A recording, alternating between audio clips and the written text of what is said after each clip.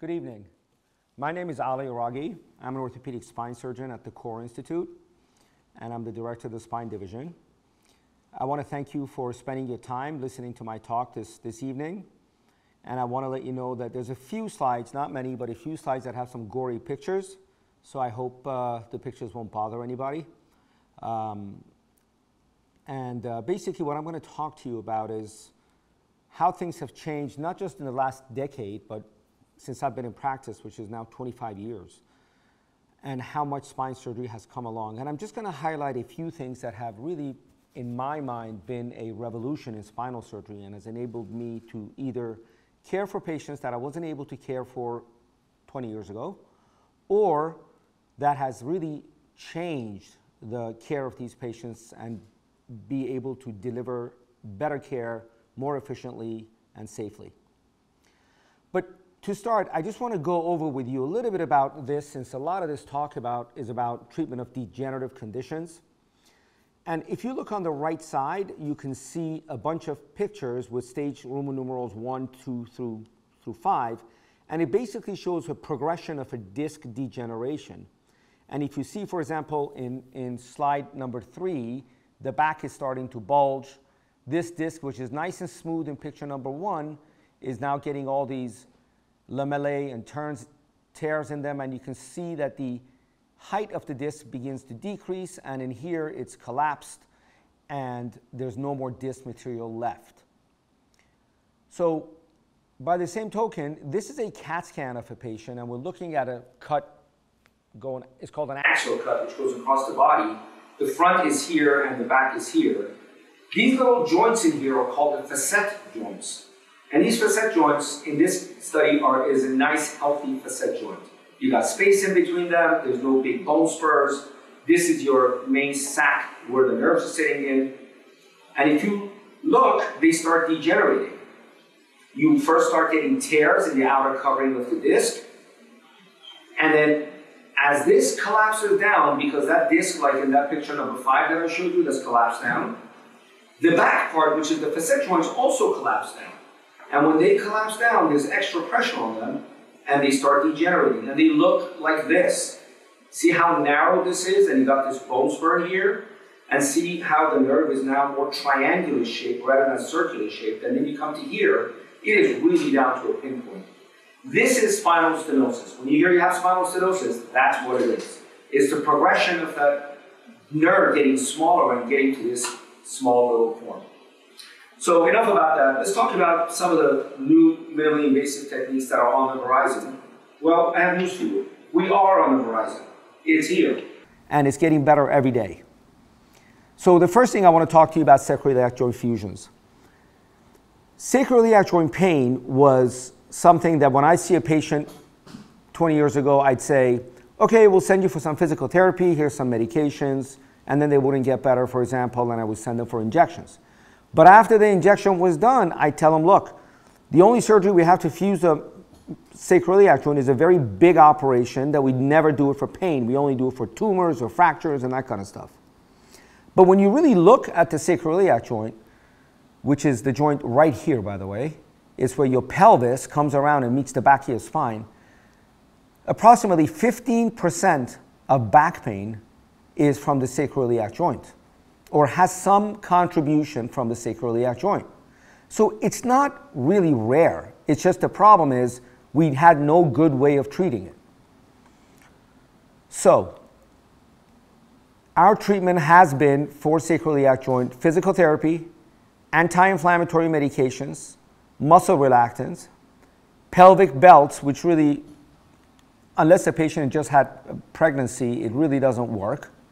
Um, sacroiliac joint injections. And then there are some other things out there which I don't prescribe because I don't find them work too well for true sacroiliac joint problems, such as prolotherapy and uh, neurostimulation. Sometimes radiofrequency ablation works.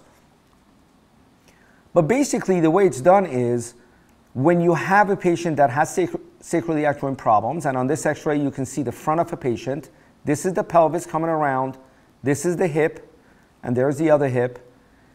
As the pelvis comes around and meets the tailbone, which is here, this triangular shaped bone, The joint is this space in here. Is that faint line in here, and the other one is here.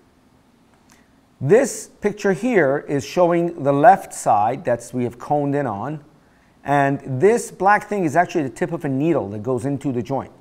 So the way we can figure out if a sacroiliac joint is the actual pain generator or not is not by MRI. Sometimes the CT scan changes or MRI changes, but the vast majority of the time, we have our pain management colleagues put a needle into the joint and inject it with numbing medication. And if the numbing medication takes your pain away for a short period of time, then it's probably a sacroiliac joint. And then after that, we will go ahead with steroid injections and see how much relief that gives them. Sacroiliac joint fusions have nowadays become a technique that we do through a small incision about this big. It gets done within an hour. Um, there's many different techniques for it. The technique that I like to use, we actually pack bone graft into the joint and we place this device that you can see that's rotating like a propeller of a plane. This device is actually inside the joint through an incision where this tube goes in from here to here. And what this is doing is called, in medical terms, decortication, which means it takes out the cartilage in the joint and creates a space in there so that the two ends of the bone will actually contact each other. Normally, between the two ends of the bone, there's a cartilage. It's kind of like if you ever have chicken wings and break the wing apart, there's a shiny white surface. That's the cartilage. It's called articular cartilage. This is the same thing. We got to take that cartilage off for the two ends of the bone to be able to fuse together. That's what a fusion is. So we need to clean that out, pack bone in there, and then put some fixation across it. So that's what the device that actually cleans the bone. And then here is the, that same device, the tube that I showed you, which I showed you before. This is that same tube, just we took out the instrument that was cleaning this space and created a cavity. Now we pack bone graft in there, and that's where the bone graft goes. This is the sacrum, this is the ilium, called the sacroiliac joint. And you can see the bottom of the joint is here, it still continues. We are just packing this with this bone graft that you can see going into the joint to fuse it.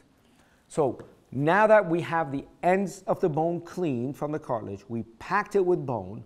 We can't leave it moving because if it moves, it is never going to heal. So we have to do something to get it to heal. So in those situations, that's when we put these implants across the joint. And they come in two different sizes. We have decorticated and packed bone graft around the main implant, which holds everything together. And this is just a second screw to prevent the rotation of the pelvis as it moves. And I, and I know some of this may not be clear, but it's very hard to explain all this in, in, in a limited amount of time.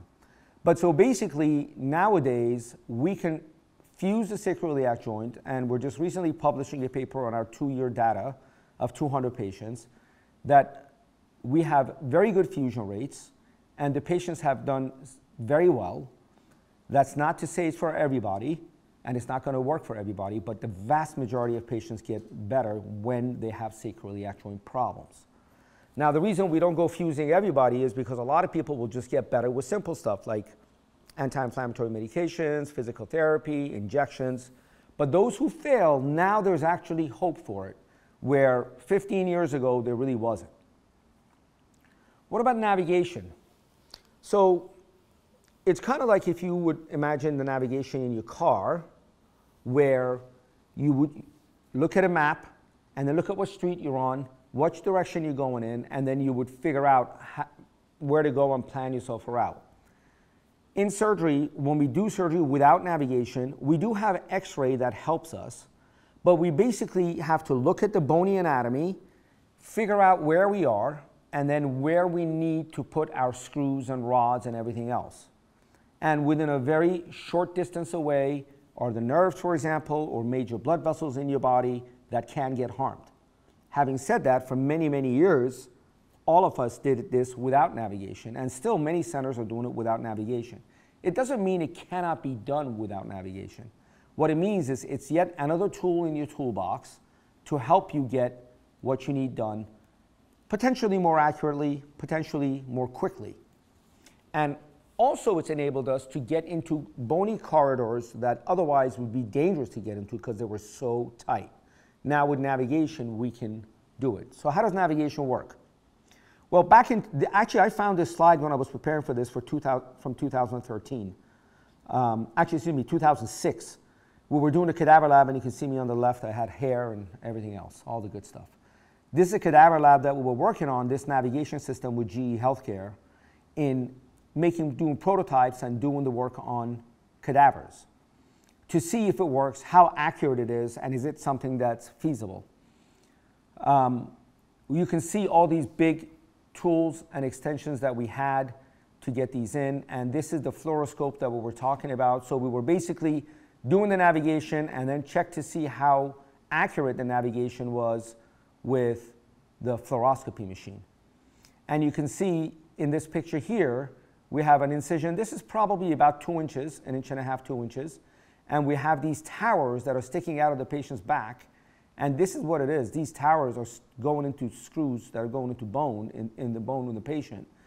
And we were able to put these without seeing any of the bony anatomy because we had the navigation system in there. And then through that navigation system, we could put these wires in. That once we put the wire in there, then we could put a screw that had a hole in the middle over the wire into the patient, knowing exactly where it's going to go. So this is all new technology, and this is what the screen for the navigation would look like. So this is the screws that we put in with navigation, and here is us mapping a plan for the next screw where to go. So basically, we would take an instrument and put it on the skin or inside on the bone, and as we would move it around, this line would move around until we adjusted it back and forth till we saw exactly where, where we wanted to go and get in the right spot. Then once we did that, we could actually adjust the length to guesstimate, or not even guesstimate, estimate very accurately how far deep we have to go before we come out of the bone. So this would enable us to determine the length of the screw, the width of the screw, and exactly where to put the screw to avoid the nerve. This is all seen on a computer screen, and as you can see, all these little dials here would adjust the contrast on the screen, change the length, the width, etc., etc. Um, and it's basically making surgery a lot more accurate, easy, and reproducible. So, what about doing minimally invasive fusions? And I put it here from the backside because there's many different ways to do a minimally invasive fusion. So, what's good about minimally invasive fu fusions when we know that we used to do big midline incisions and go in there and perform a good job fusing the spine, and they worked. They, they truly did. The, the difference is that nowadays we can do it with smaller incisions, less blood loss, lower infection rates, and these, these first three are proven unequivocally in the literature. And we also feel that the patients will have less pain. Now, long term results are probably about the same. When you look at patients a year out and two years out, open versus minimally invasive surgery, they're probably doing about the same.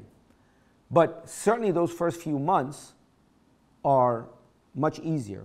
So, what this has enabled me to do is as our population ages, and while when I first got into practice, if I had a 70 year old, that was old. Today, I do 85 year olds who are healthy without being as concerned about it. One of the reasons is minimally invasive surgery. The other reasons is obviously our cardiologists and our healthcare has gotten so much better, and our anesthesia has gotten so much better, et cetera, et cetera. But definitely being able to deliver surgery with less infections, less blood loss, less stress on the body, smaller incisions, has enabled me to operate on people that 15 years ago I would have said, you know, uh, there is a way to do this, but I honestly don't think you'll make it through the surgery. So this is really, really nice. Basically, what the premise is, we make a, a small incision in the skin, and rather than make a midline incision and pull all the muscles to the side to get to where I need to be, I go directly over it using navigation or regular fluoroscopy C-arm, make a small incision, And then what we do is we put these dilators in.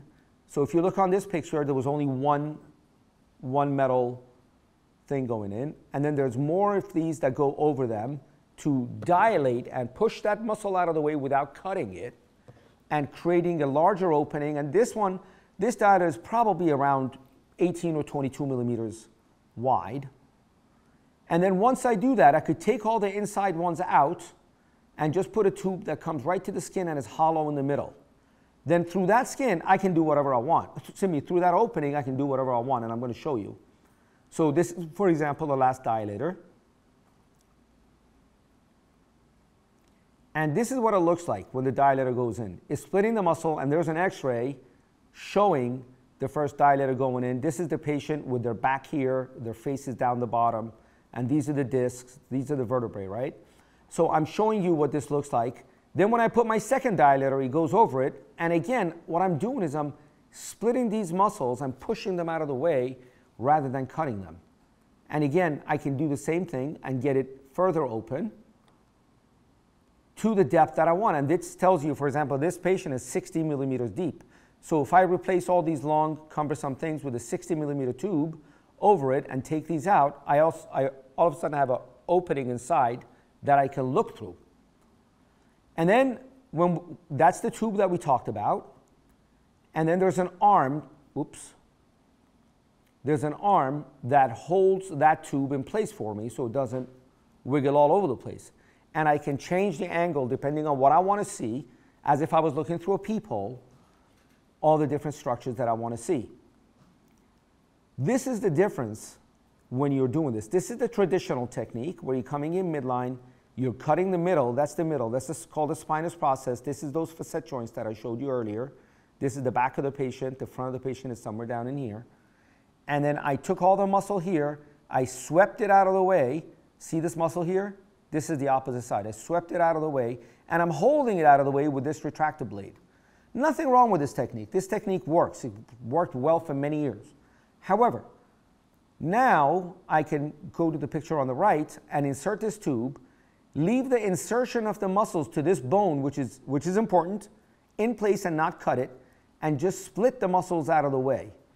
And when we look at the CAT scan on these patients, you can see that this side barely has any scar tissue left. The tissue is stuck to the bone very nicely, where here it hasn't stuck as well.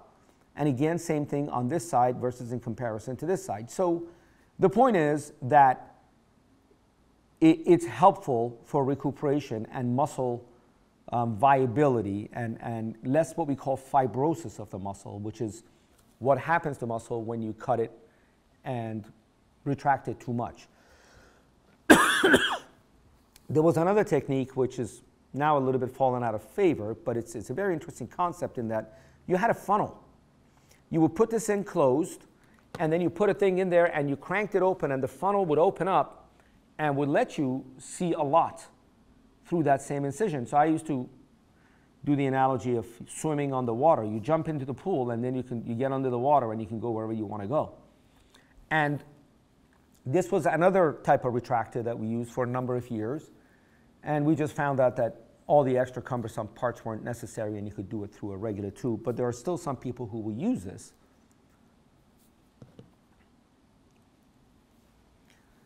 The other thing is when I come down straight, like I showed you earlier, I can work here, but I cannot get to here. And usually what we would do is we would open up the skin here, pull the muscle out to both sides so I could go to this side and I could go to the other side. Well, with this technique, once I'm done with here, I can do what's called wanding, which means just change the angle, and this soft tissue does move, bring it over, and then work at this angle and undercut the bone here. And this nerve that is getting pinched, I could free it on this side, I could free it on that side. If there's a herniated disc, which would be sitting here, I could move it to the side and pull it all out, all through a tiny little incision. Um, so this is another advantage of this technique. Now, this is what it would look like under a microscope, and this is obviously an artist's rendition, but this is where we have shaved the bone off through that same tube. Here is the nerve that goes down to, to, to the other levels, and here's the nerve that's exiting, which is called the nerve root, and goes to the legs. So if there's this blue thing, let's say it's a herniated disc under it, I can get in through here, remove the bone, clean it off, and then take that blue piece out. Um, you, it's kind of hard to look at this because you need magnification um, with your bare naked eye, but you could use these loupes, which I'm sure you've seen in, in some of these uh, medical shows, or we could use a microscope, which is really nice, and, and that's what I like to use, and be able to see everything very, very clearly. This is an actual picture of, from within a microscope. That's the nerve that's getting retracted over, and that's the disc underneath it. This picture here is a piece of disc that the artist has drawn out, that's, that's drawn, that's coming out right from this opening in here. And here's the actual picture off of a microscope from pulling it out from under the nerve. This is a piece of disc. This is it again here. There are, you can actually put in spacers between the vertebrae, and this is a little bit of a fancier retractor that actually expands in different directions. And you can put this in and then go into the disc, clean out this disc completely from the back side that we're going in. This is again the patient's front, that's the patient's back. We're looking at the patient from the side. And I can clean it out, put this distractor in, and then when I turn it 90 degrees, it jacks it open. You can see that clearly this is much wider than here.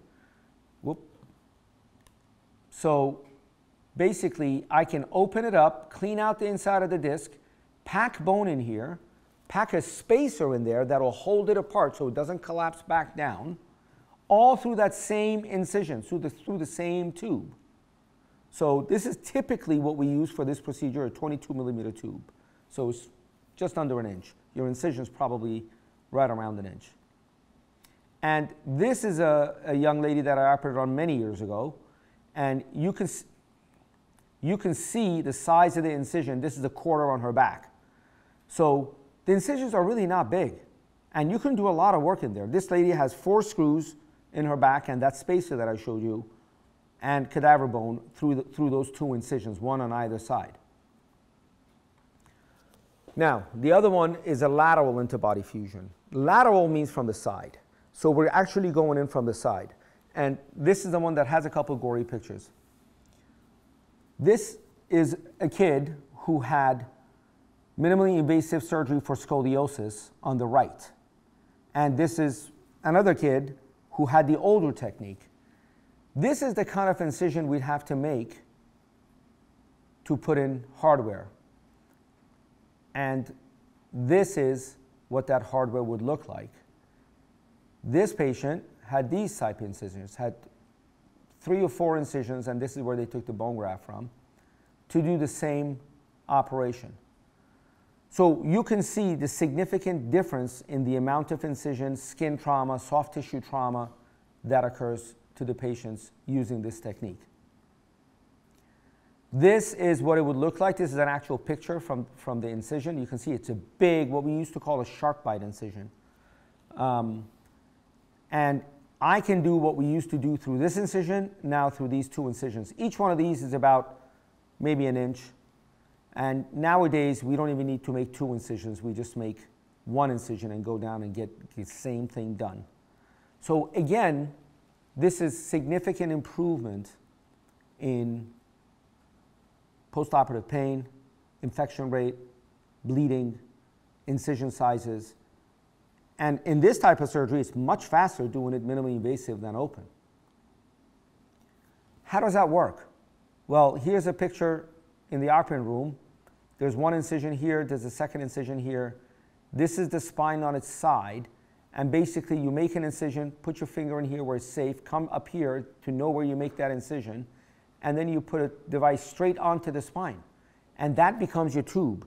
You do the same thing with the dilators, and you put your tube down and you do the surgery through it. Then we have this fancy neuromonitoring system because there are nerves that travel in the, in the side of the spine and we don't want to injure them. And the patient's under anesthesia, so they can't tell you that you're putting the instruments on my nerves. So this, what they actually do is they connect leads to the extremities, lower extremities, And then when I'm in there with, a, with my dilators, I will do very light electrical stimulation. And depending on at what level of electricity this stimulates at, we know how far or how close we are to a nerve. The other thing is I can turn that stimulator around and I can figure out is the nerve behind my retractor? Is it in front of the retractor? Where is it? So these are all very new technologies, new meaning in the last 15 years, 10 to 15 years, that enable us to go in there without looking for the nerve and doing it. Because if you want to look for the nerve, you're going to have to make a big incision to see it. So that's the, those, these are the advantages of, of this technique. Last but not least, and I didn't want to talk too much about this because my last talk was about kyphoplasty, but um, don't forget kyphoplasty. Kyphoplasty is a technique that we use for compression fractures, only for compression fractures. Um, and the compression fracture has to be new. Last time I gave this talk, I had patients coming in and saying, I broke my back 10 years ago, now can you put the cement in? And no, I can't because the fracture's healed. So it's important to understand these are for new compression fractures. But what's a compression fracture? A compression fracture is this. We are looking at a patient's spine from the side again. Here's the patient's front. Patient's back is, is over here. A vertebra should look like a box, like this. Okay? And those nerves that we looked at earlier in the back here. See how this is not looking like a box, it looks like a wedge. It actually looks like a ski slope here.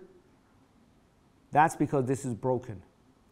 This one is also broken, but it's white because we have injected it in the past with cement. There's also in this possibly a fracture down right down in here. But if you look, this is significantly narrowed, right? But now look at this picture. This is after it got cemented. You can see it's much taller. The reason is this. If you get to the fracture early enough, what you can do is through this bony corridor in here, which is called the pedicle, you can insert a balloon, and it's, it's an actual balloon. Now, it's a very fancy medical balloon. We put that inside, we put it all the way to the front in here, and once I have it in the right place, I start turning this handle, which pushes dye into it, and it starts inflating it. The reason we put dye is because we want to see where the balloon is going, and we want to make sure it's not going into the wrong place. But if it's a fresh enough fracture, you can actually inflate it and put cement in there. So you inflate it, it opens up back to its normal height or even a little bit more than it is now, and maybe not all the way to its normal height. And then you pack it with cement. And once you pack it with cement, 10 minutes later, the cement is hard and it ain't going anywhere. What's the advantage? Well, look at this. In this picture, if you look at this spine here, and then you look at this spine here, it's like this. But if you look at this picture on here, you will see that because we corrected this deformity and straightened it out, the patient's back is a lot less curved than it was on the picture on the left. So what does that mean? We have a lot of people who are elderly and they have multiple of these fractures. They have osteoporosis and they're walking as like a hunchback. Well, if you catch it early enough, you can correct it and you can also help the pain. This is kind of the, the picture that they talk about. This is the same lady, uh, not really, but it's a depiction of the same lady who's probably 40 years old and as they go to 60 and 70. And part of this is because of these osteoporotic fractures. So honestly, more important than treating the osteoporotic fracture is preventing it. So please, if you're over 40 years old, you're postmenopausal, which means you're not having your periods anymore, you're at risk for having osteoporosis. Go to your medical doctor, get a bone density test, and get treated for it. Take your vitamin D, take your calcium, whatever your doctor says is the right thing. We do have a bone health specialist at the Core Institute, which is this gentleman's a rheumatologist, and all he does every day, night and day, is osteoporosis. He doesn't do anything else other than osteoporosis. It's an exciting life but he treats a lot of people, helps a tremendous number of my patients. Your primary care doctor can help you, but just seek care so you don't need the kyphoplasty. And if you have a fracture, let's get you in sooner than later to take a look at it and see if you're a candidate. And if you do that right, then you can grow up to be like her and still be able to do your splits. All right, so at this point, um, if there's any questions, I'm happy to answer you. I hope that I haven't bored you too much.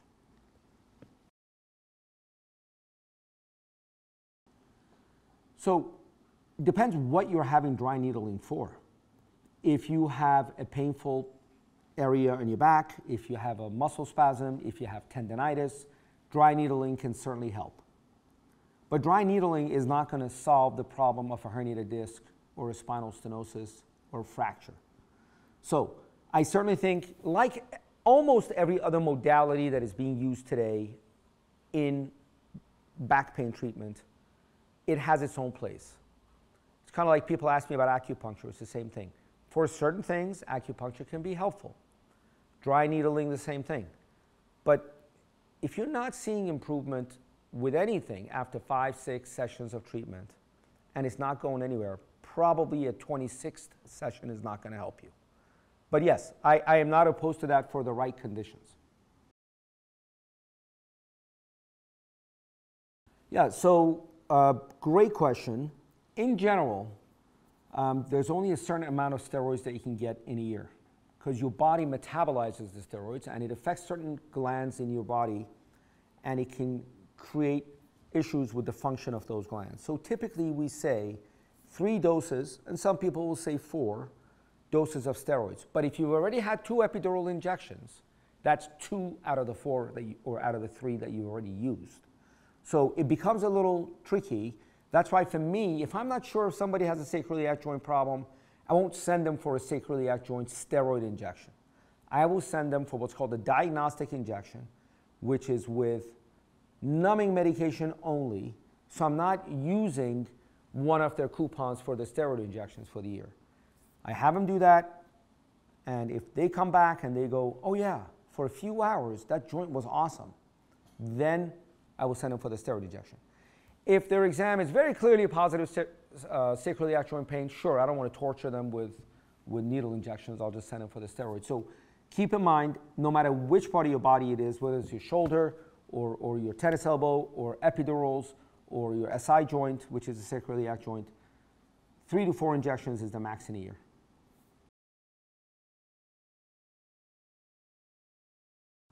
Um, again, I, there, there's a lot of changes, right? I only had time to go over a few of them, which I thought were some of the most uh, beneficial ones and the ones that are truly proven to work. Um, robotics is another one that's I think is going to work for sure um, but it's not available as much. It has a little bit over navigation, not a tremendous amount of spine surgery yet, but they're going to come up with applications for it that's it will also revolutionize certain parts of spine surgery. Um, and that's probably we didn't get to talk about. The other thing that we didn't talk, talk about is artificial disc replacement, especially in the neck. In the lower back, it works, but the appropriate patient to use for an artificial disc in the lower back is a very limited number of patients. In the neck, you have a larger population that it's reasonable to use the artificial disc for. Again, not everybody's a candidate for the artificial disc. Some patients are much better off with the older fusion technique than the artificial disc. That's why probably today um, in, in my practice, a lot of patients get fusions. Every now and then, I will have a good candidate for artificial disc replacement. And I have been involved with the FDA studies for the initial versions of the artificial discs that, have, that were approved in the United States, both for lumbar and cervical. So I've been doing them for about, uh, I want to say 12 to 13, 14 years. So um, it's a really good technology, again, for the right patient. It's like the dry needling. It's not right for everybody, but for certain patients, it's right. It's picking and choosing what's wrong and what's the best treatment for that patient.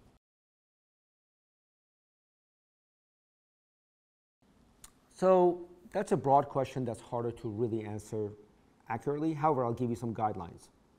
Generally speaking, if you haven't had any conservative treatment, non-operative treatment, meaning physical therapy, medications, injections, and you have no neurologic deficits that you feel you do, and I'm going to tell you what that is.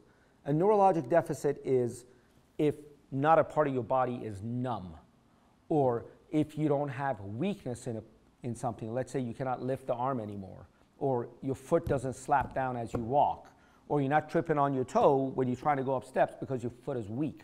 So if you don't have motor weakness, which is strength weakness, if you don't have significant numbness, you could have some tingling, but by numbness, I mean you touch your finger and your finger is numb.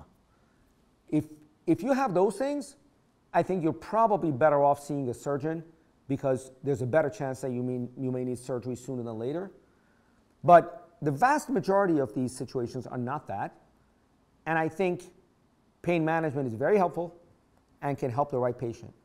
Now, am I suggesting that you take narcotics for a long time? No, that's not what I'm talking about. I'm talking about finding out what's wrong, treating it, and after a few injections, if you're not better, well, they're not onto the right thing. You need to move along.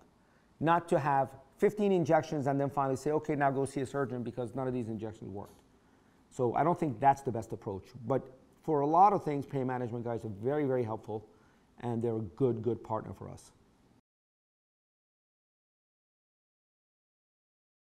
Okay, I'm, I'm going to correct a couple of things in the question because I think it's important for everybody else in the audience to understand. It's a bone density, not a bone scan. A bone scan is a different test that's done for a different reason.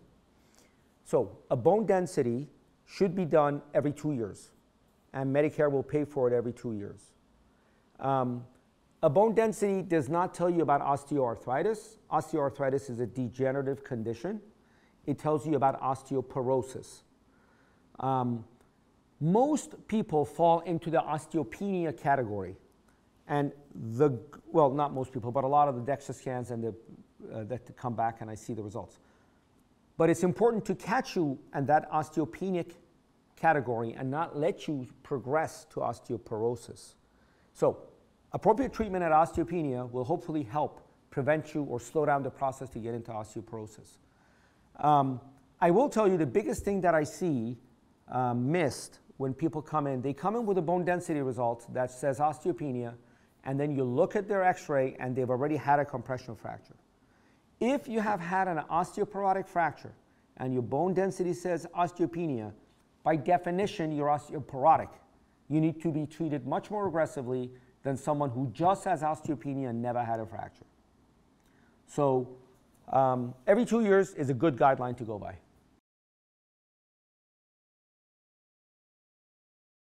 Um, so, I will tell you that I've operated on 90 year olds. The 90 year olds I've operated on, they drive themselves into my own office. They're sharp as anything. They know their whole medical history. They live alone or they, they take care of themselves.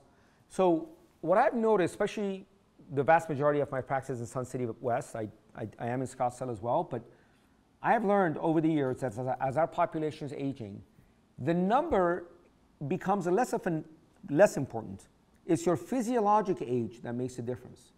So if you're 85 years old, you had a bypass 20 years ago, and then you had a bunch of stents placed, and you're on Coumadin, and you've had a stroke, and you're significantly overweight, and you cannot walk around because you're so debilitated, you're probably not the best candidate for spine surgery. But if you're an 85 year old who's active, still drives, does their own things, taking a few medications, then you may be a candidate for spine surgery. But also, that depends what is the surgery. If you have a compression fracture, which I could get done even under local anesthesia if I had to, and it takes us 12 minutes, 15 minutes to do the procedure, absolutely you're a candidate. But if you have a big scoliosis that you let go for years and years, and now you have a very difficult, tough curve and all that, no, at 85, you're not a candidate for that. So it's a matter of your physiologic age, versus what's wrong. And then that's a balance that we have to balance. And we get the help of our, our um, cardiologist friends and, and, and our other colleagues to try to optimize the patient to deliver the best care to them.